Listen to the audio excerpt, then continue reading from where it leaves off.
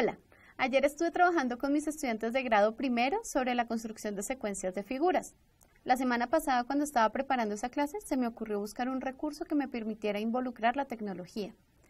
En el portal Colombia Aprende, en la parte de catálogo de contenidos, encontré contenidos para aprender. Con la palabra secuencias, encontré este recurso que se llama reconocimiento de secuencias de figuras.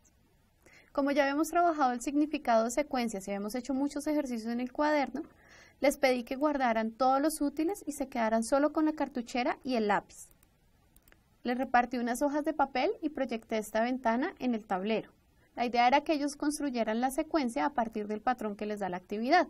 Cuando acabaron, ellos intercambiaron las hojas y, al resolverla, todos querían pasar a interactuar con el recurso. Así que decidí que solo tres estudiantes iban a pasar a resolverla así.